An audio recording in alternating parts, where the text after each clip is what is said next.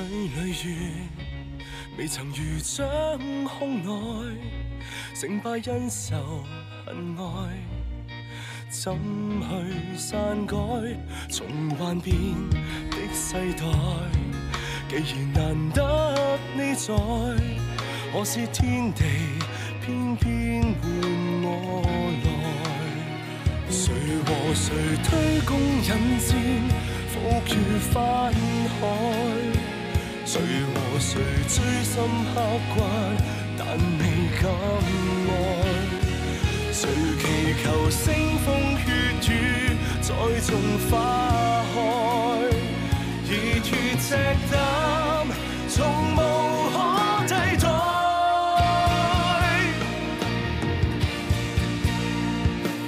黄月长空与深海。纵是归去有从一刹张开，以后必更精彩。岁月尘灰染于腮，故事总有你在。记住，如果要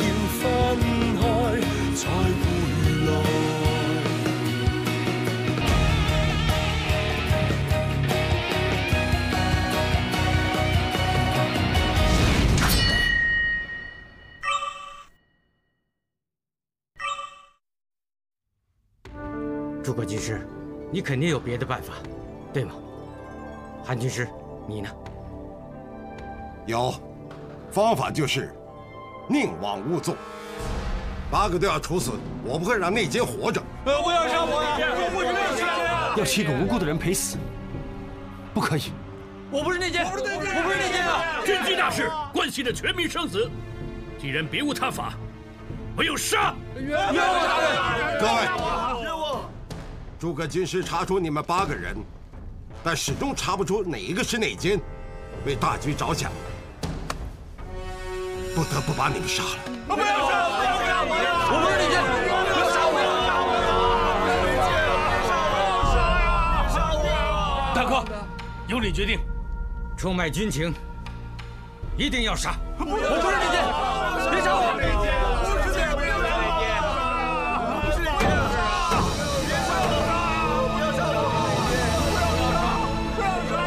是内奸，有何凭证？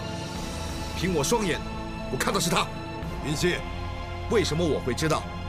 因为你的双脚出卖了你。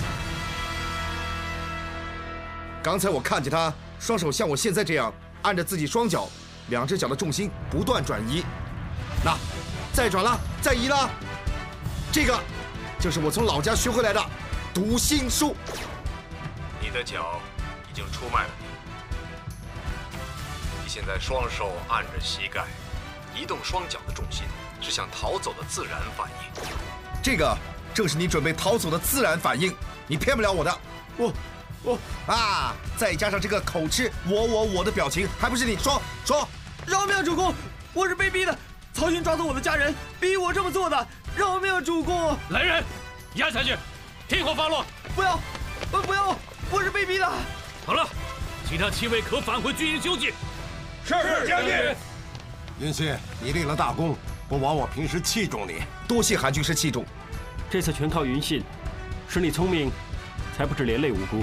这次全靠诸葛军师的排除法，加上云信的机智，找出内奸，解除我军的危机。两位都是我的好军师，好谋士，功劳不分轩轾。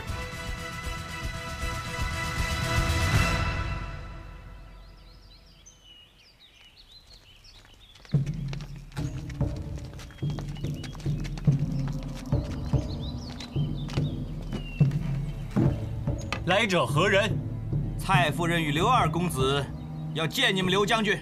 我们现在进去同船，等将军有令，若非本部署，任何人不得携带武器入内，请先放下。我们是荆州牧亲兵，即刻放下武器？军令如山。小小的守门族，斗胆为难本夫人。刘备，你管教的好。参见蔡夫人，二公子，还要不要放下武器再见刘备啊？小人不敢违抗军令。王威，为我们护驾进去，若有阻拦，格杀勿论。遵命。谁胆敢硬闯将军府？关云长、张翼德，果然名不虚传，威风十足啊！参见蔡夫人、二公子。蔡夫人与二公子大驾光临，玄德未可远迎，请恕罪。刘将军，你的守门族竟然胆敢对我们无礼，要我们放下武器方可进入将军府。军令如山，不可有例外，否则玄德难以服众。也对。不过，新野是我夫君管辖之地。刘将军，你六年前暂借屯驻至今，不知军令应该依从我夫君，还是依从将军你呢？我视将军府如我家，我回家不要亲兵留下兵器。蔡夫人坚持带武器入内，究竟有何担心？你里面闲杂人等众多，我们只是以防万一。原来蔡夫人有此担心，明白。那我们大可以就地商议。你准备积案，遵命。哎呀，为何突然一阵凉风？我的头疼了。要不进将军府休息一下？好啊，你们周居劳顿，将杂物行装交由他们保管。遵命。请。蔡夫人，喝了热茶好些了吗？好多了。那玄德就安心了。不过我夫君却日夜担心，他的身体一天比一天差呀。荆州牧的病，荆州牧的病自然令人担心，但是荆州的情况更加令人忧虑。荆州的政事目前由我代管，我责无旁贷呀。荆州的情况如何？真是千头万绪。症结在于财困呢，水灾饥荒军饷建设，里里外外的事都需要银子去解决。更何况曹操对我们虎视眈眈，要增兵抗敌，又是需要银子啊。玄德明白。所以，刘将军，你们新野每年上缴两成户税，如今要加至四成。四成？你不说全部上缴？新野是我爹的地方，有何不妥？蔡夫人，两成是荆州牧当初同意的，加至四成，请问荆州牧是否知晓？他是我夫君，我做的事他岂会不知？希望刘将军体谅我夫君，体谅荆州安危，体谅百姓的苦况。我们新野财政也很紧绌，根本无法负担四成户税。新野你们管了六年了，不思进取。是何人之责任啊？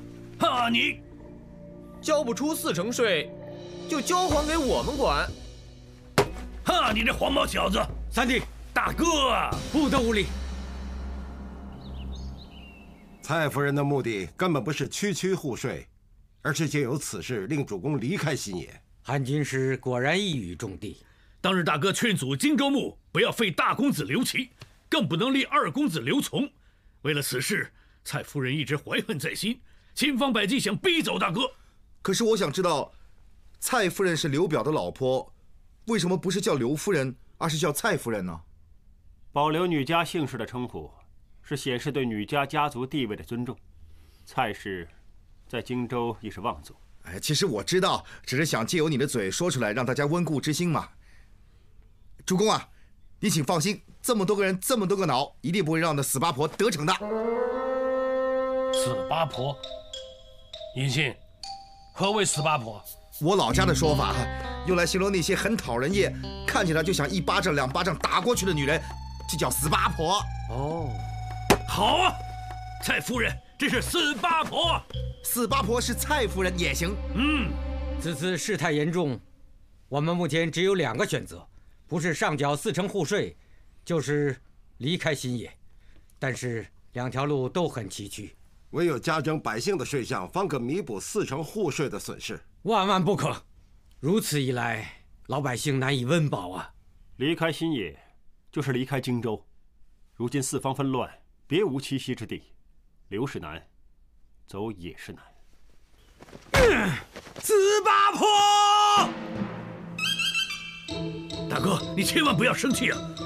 多为军师谋事，肯定会想了万全之策。这次真不容易应付啊！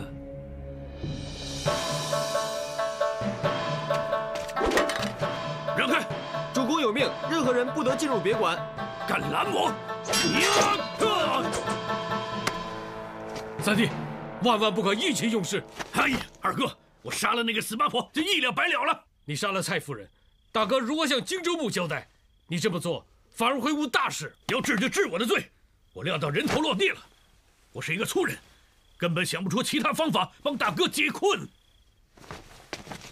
既然如此，由我去杀那个死八婆。二哥，我也决定了，我去，我也决定了，我去。大哥，你们两个身为将军，竟然内讧，成何体统？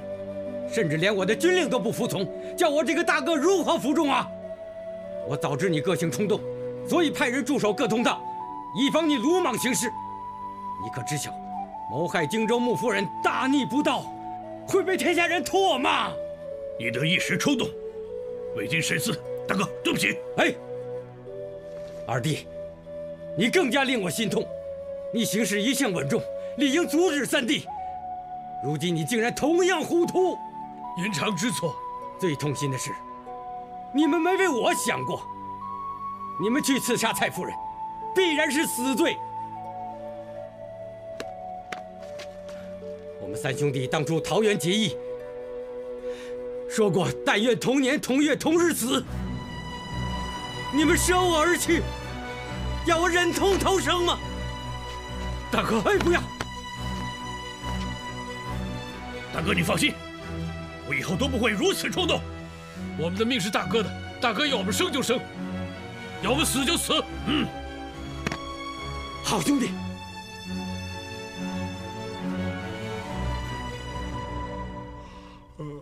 云信，嗯，你的三十六计港南十八式，没有一样能对付蔡夫人吗？哎，推脱了。如今你是拖延我时间，对我推脱，赶快想，弄醒他，别让他睡。哦。哎哎哎哎！救命！哎，放过我！已经四更了，大家都头昏脑胀，回去歇息吧。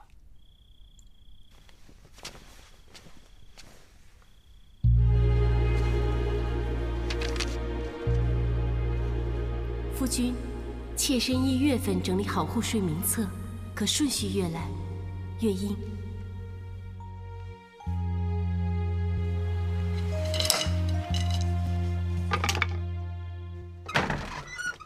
啊，死寒凉！想要我的命啊！六点才放我，想不到就是想不到啊！嗯，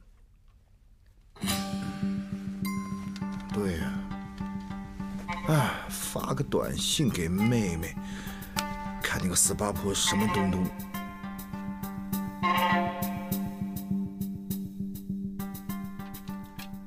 蔡瑁是蔡夫人的弟弟，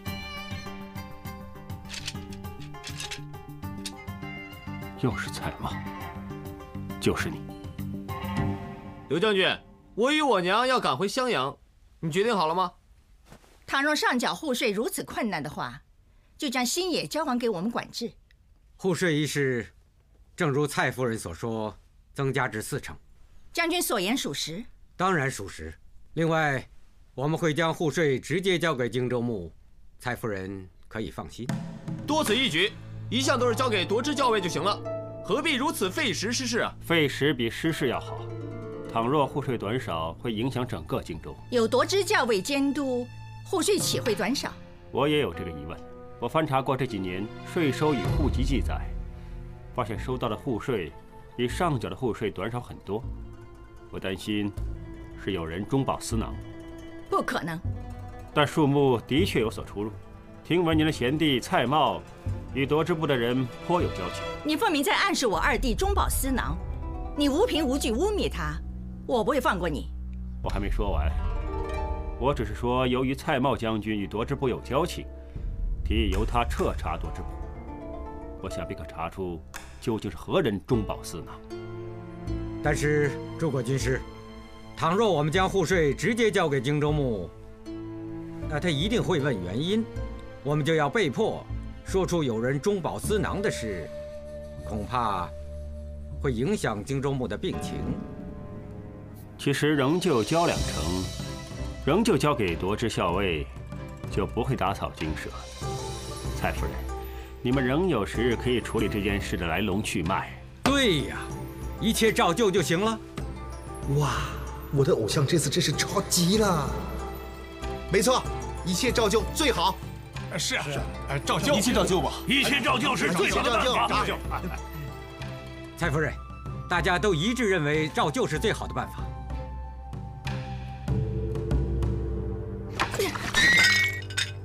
是，户税是短少，短少的户税到我这儿来了。娘，我这么做，完全是为荆州着想。荆州牧一向心肠软，容易受人教唆。正如当年有人向他借地屯驻，他不问情由便一口答应，对荆州的开支又一直宽松，才导致库房紧处。我暗中为他留起部分税收，完全是为了以备不时之需。我这么做是没有办法之中的办法。我是夫君的枕边人，我是他的至亲，我这么做，他一定会明白的。是你，你一直不肯上缴四成户税，完全是为了要维持自己的军饷。你不为荆州着想，荆州六十万人生死都不理会。为了荆州的安危，我不能再让你继续愚弄，也不能让你污蔑我。好啊，我现在不稀罕你上缴的户税，你立刻给我走！你带着你的兵给我走，立刻走！娘，你流血了，娘，立刻叫义工长。虫儿，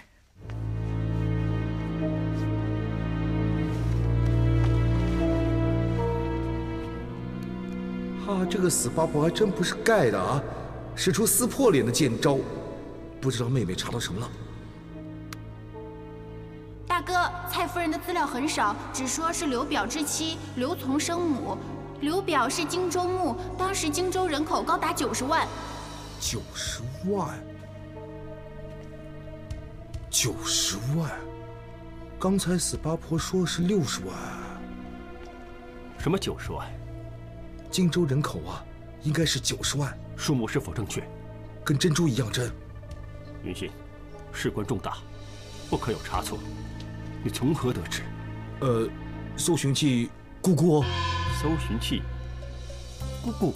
呃，就是信鸽，他们整天咕咕咕咕这样叫啊，是探子。咕咕飞鸽传书通知我的，千真万确，千真万确。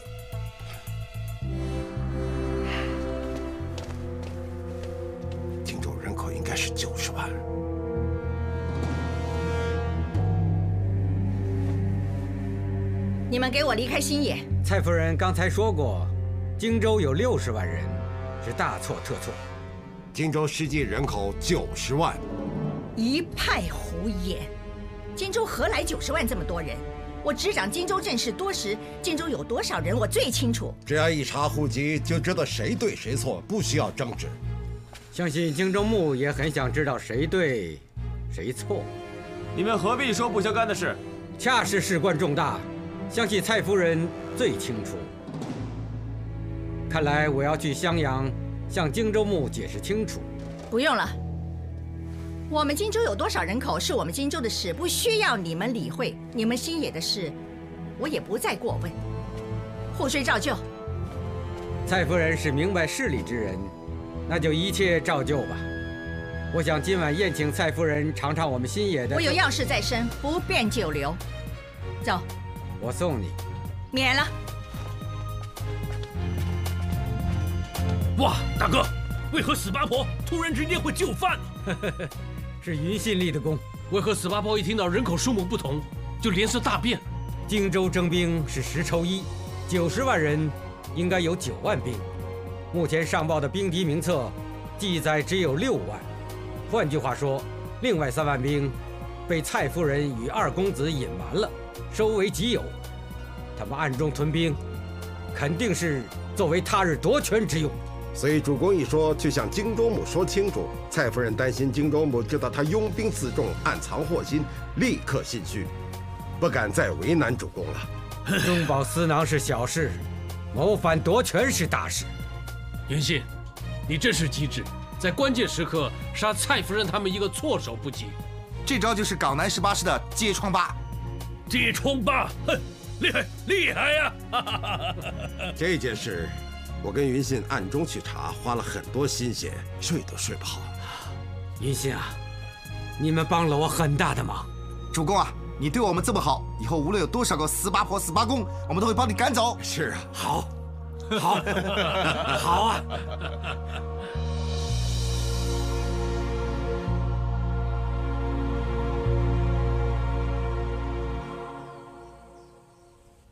又便秘了，真是糟糕啊！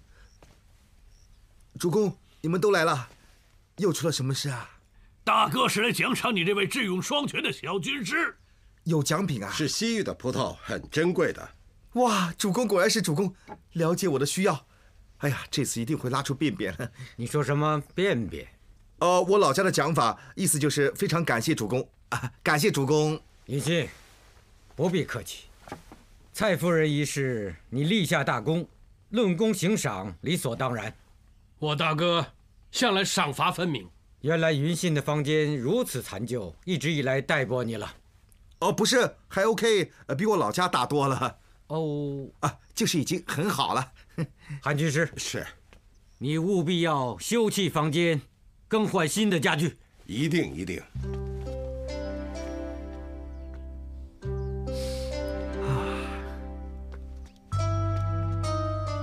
哎呀，不要撞到我！离这么远，怎么会撞到你呢？撞到我是没有关系，万一撞到主公赏赐给我的珍贵西域葡萄，谁担当得起呀？葡萄放在酒壶里啊，没见识！我吃太多，胃撑着了，就把剩下的榨汁喽。将葡萄榨成汁液，实在太浪费了。你根本不懂，主公说我立了大功，一大串一大串的赏赐给我。某些人呢？想吃的吃不着。主公是爱才的人，云信这次机智独到，尽显才华，令蔡夫人知难而退，主公厚待是应该的。你终于知道我聪明了。哼。呃，军师啊，多谢赞赏。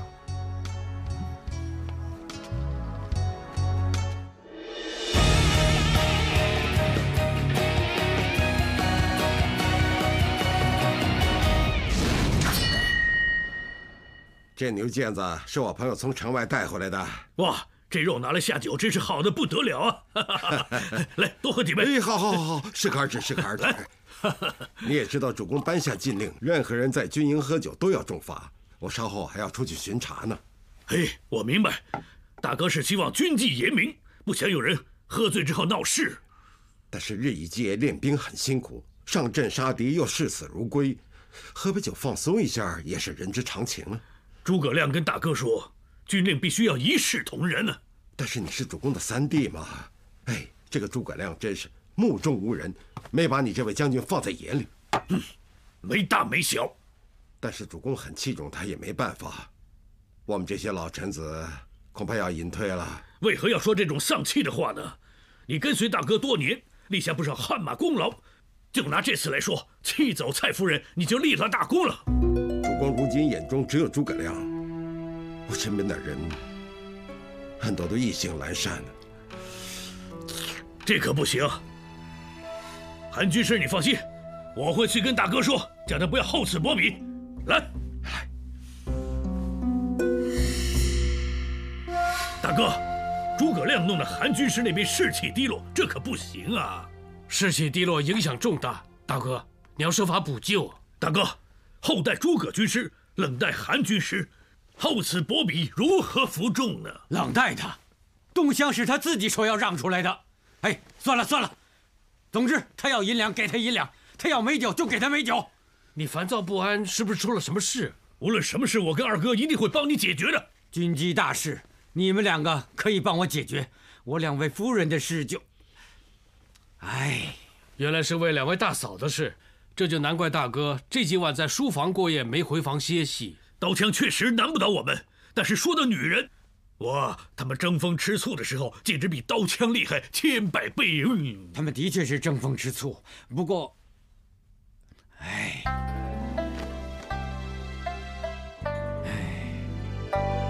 别哭了，乖，阿东，你已经哭了一个时辰了，娘听得很心疼啊，你知不知道？夫君呢？阿斗一直在说。好好，我知道，我知道。来来，哎，你帮阿斗先出去一下啊，走一走，小心点啊。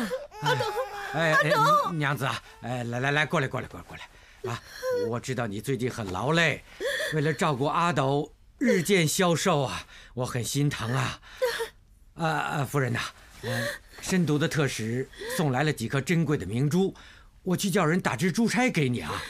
我不要珠钗，我只要桑柔啊。桑柔就只有一个。夫君啊，我不是刻意要跟妹妹抢啊。哦，喂。但是阿斗真的很需要桑柔啊。我换了十几个下人，就只有桑柔可以让阿斗他不哭不闹啊。啊，我知道。呃，夫君呢？我不是要桑柔照顾我，但是阿斗真的很需要桑柔啊，你知不知道？知道，我知道。你别哭，别再哭了啊！如今最重要的是阿斗，对吗？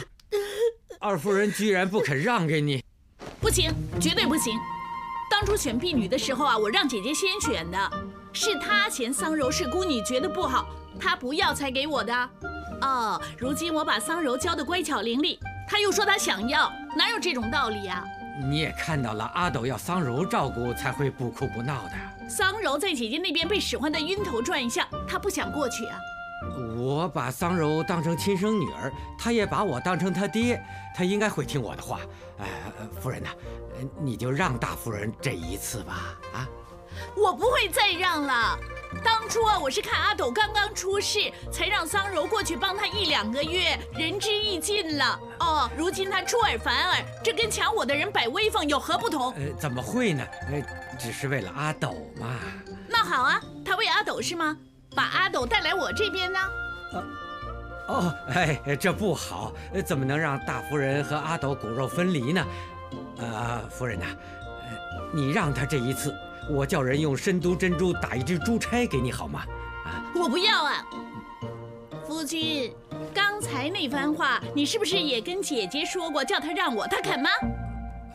我不要你，好像很公平似的。我们糜家对你多好，你对我稍微偏心一点也应该哦。呃呃，夫人呐、啊，你又说我要说说一辈子，我都要说啊。当初你落难的时候啊，我大哥对你多好，送你金银玉帛啊，还有我二哥啊，做你军队补给啊，枉费我们迷家一直对你这么好啊。我只不过要一个小小的婢女而已，都不行吗？你对得起我大哥啊？你对得起我二哥吗？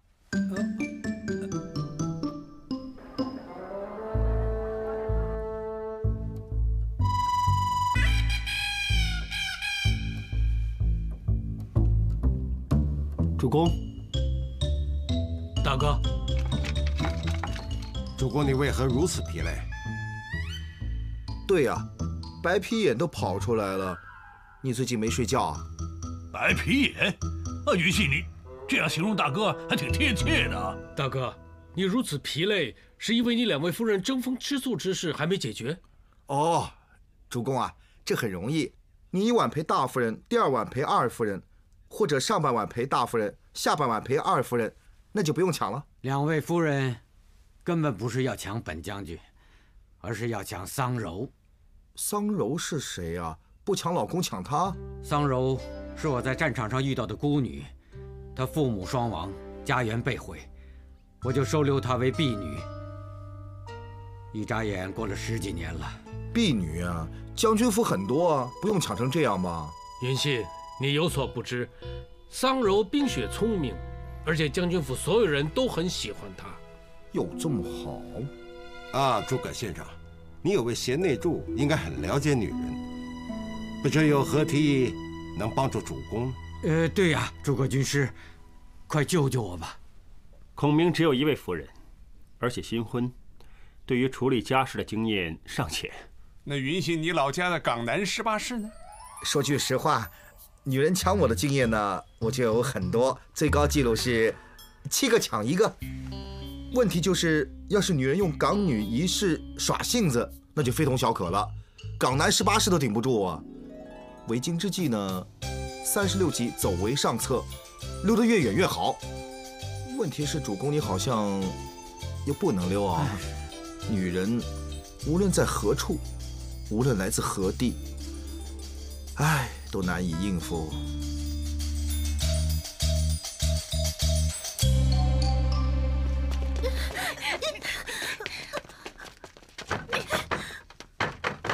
进来，夫君呢？两位大嫂，两位夫人，你们夫君呢？我叫他为阿斗沐浴，他竟然用很烫的水烫得阿斗的皮肤都红了，现在还在哭啊！我不要他，我要桑柔啊！我也不要他，他把我的首饰弄坏了。桑柔不在你那边吗？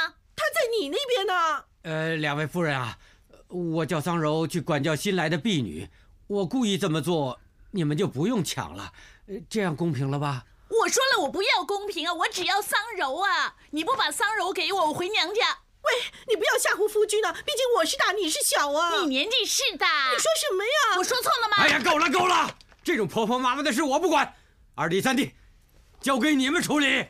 夫君，两位大嫂，我从未见过大哥发这么大脾气，请两位大嫂安静一会儿，我跟三弟商量一下该怎么办。三弟，你认为桑柔应该跟哪一位夫人呢？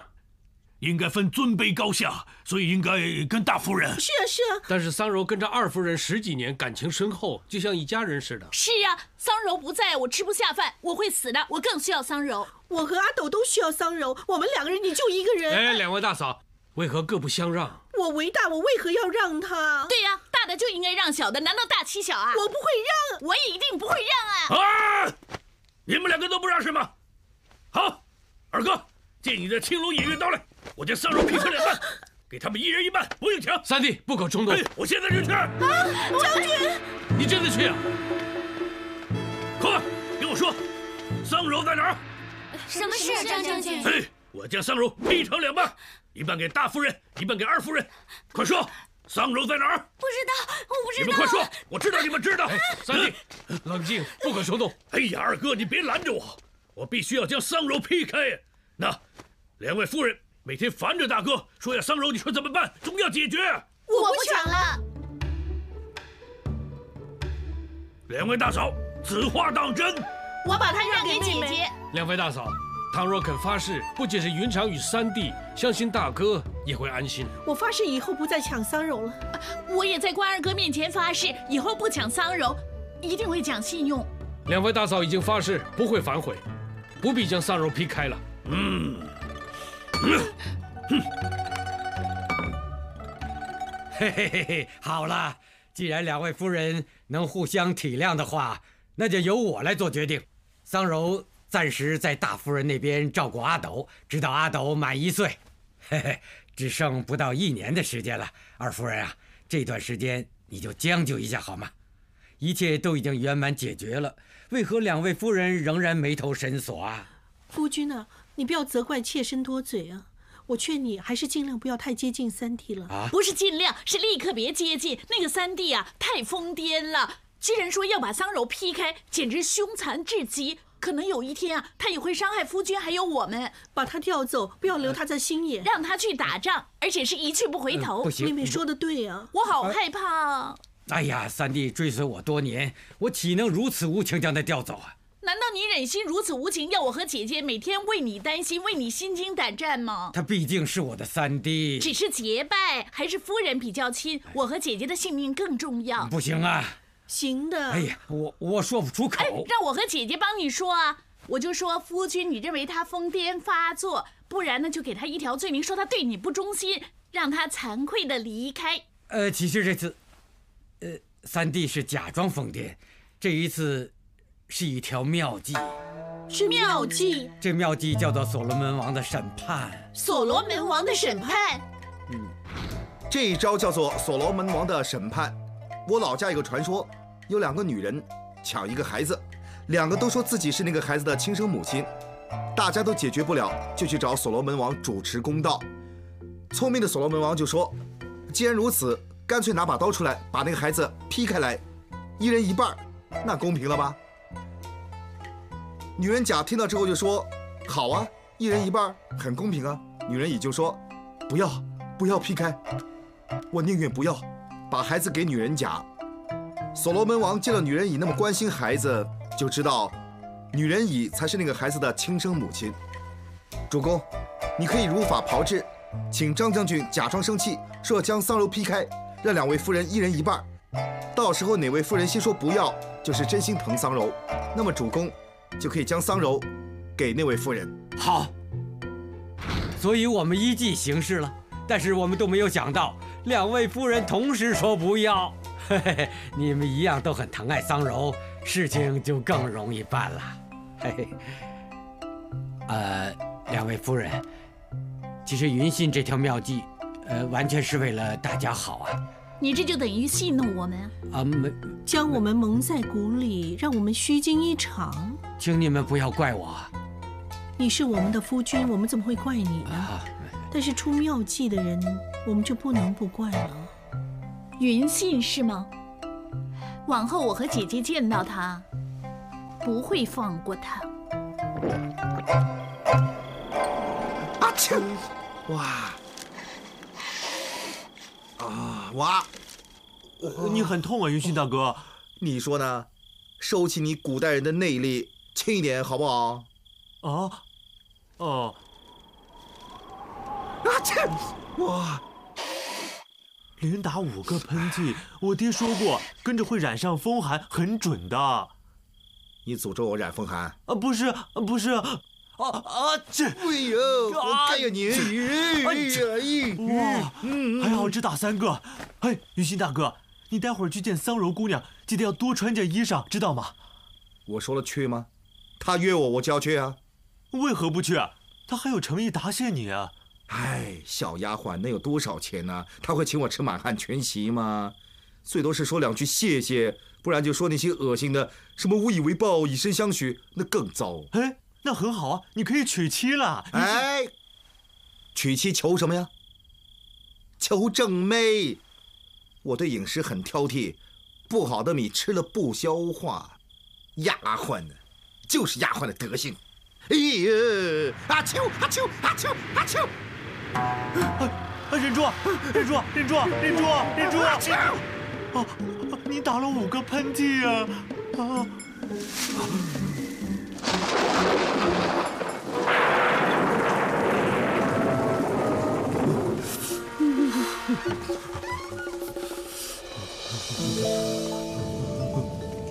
好冷，好好好冷啊！云信大哥，我是来服侍你的。云信大哥，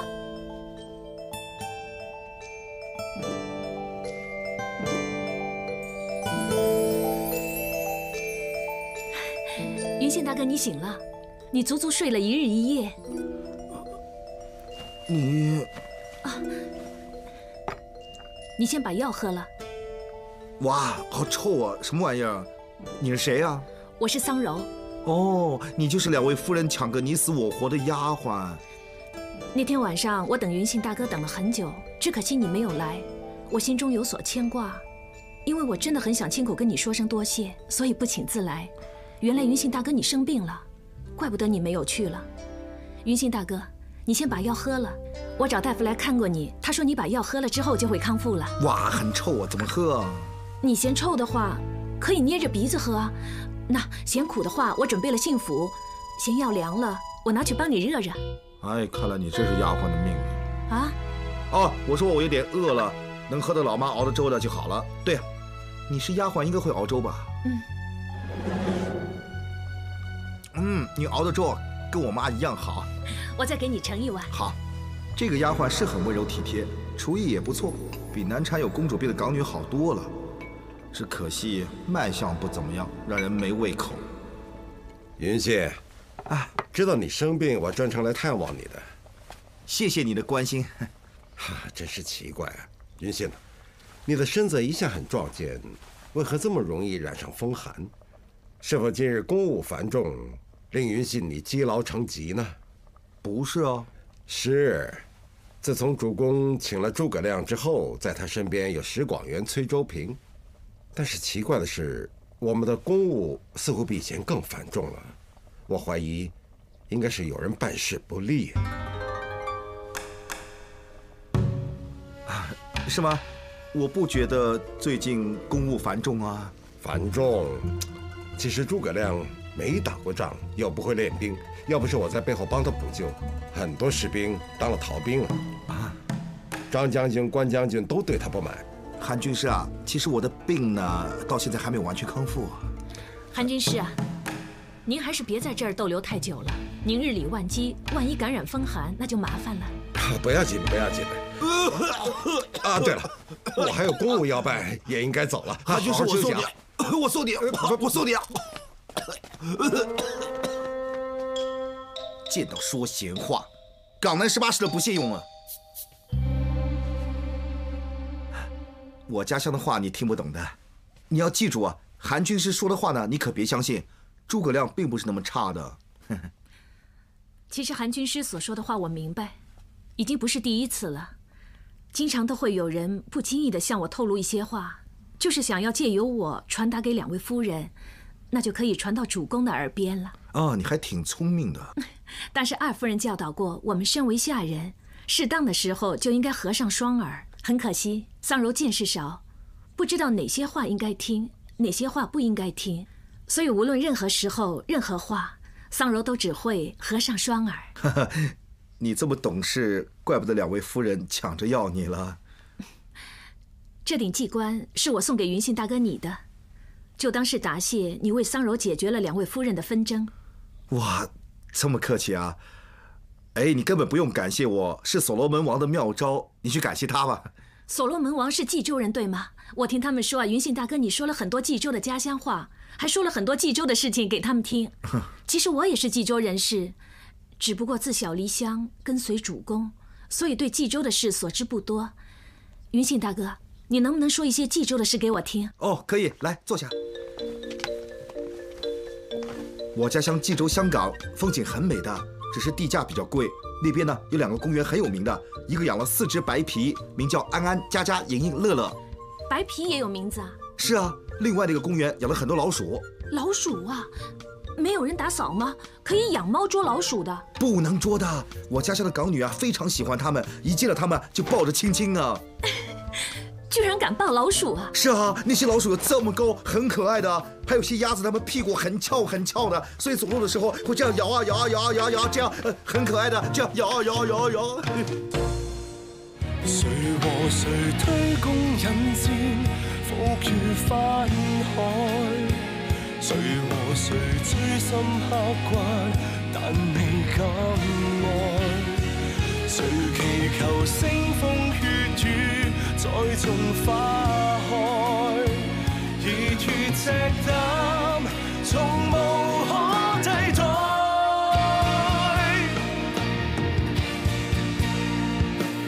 横越长空与深海，事归去又来请勿从一刹张开以后必更精彩岁月尘灰染于腮故事总有你在记住如果要分开再回来